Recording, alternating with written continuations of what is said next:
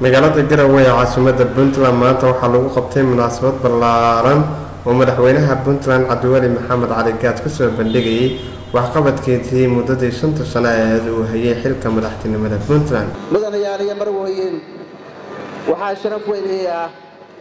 inaad ka soo qayb gashaan madashan aan ku gorfayn doonno waxqabadkii horumarkii waxyaabihii inoo qabsoomay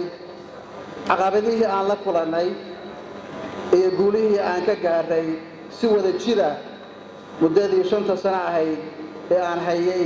xilka madaxweynaha dowladda puntland. Mudanayaal iyo marwooyin haddaan dulmar ku sameeyo si kooban shantii sane ee aan hoggaanka u hayay dalkan waxaa inoo qabsoomay waxyaabo dhaxalgal ah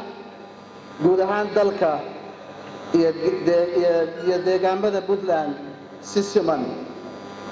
haddaan dib u muricsanno guulahaas ee ilaa gaar ahaan arrimaha bulshada kaabayaasha dhaqaalaha siyaasadda amniga dalka dib u heshiisiinta arrimaha xidhiirka caalamiga ukuurgalka iyo xogogaalnimada sagaalka gobol ee dowladda puntland waxay noqonaysaa wax aanan halkan ku sheegi karin wakhtiga oo yar awgiis waxayse noqotay lagama maarmaan inaan turxaan bixiyo sababaha keenay xilligan inaan dib mar kale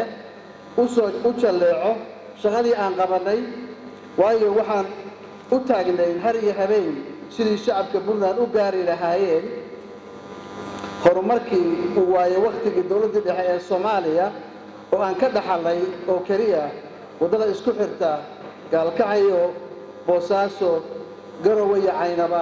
iyo dekedda yar ee boosaaso waana marka loo eego kaabayaasha laga hirgeliyey soomaaliya inteeda kale.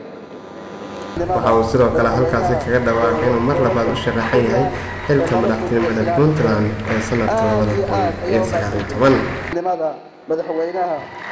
dowladda puntland ee aad iyo aad ayaa u mahadsantihi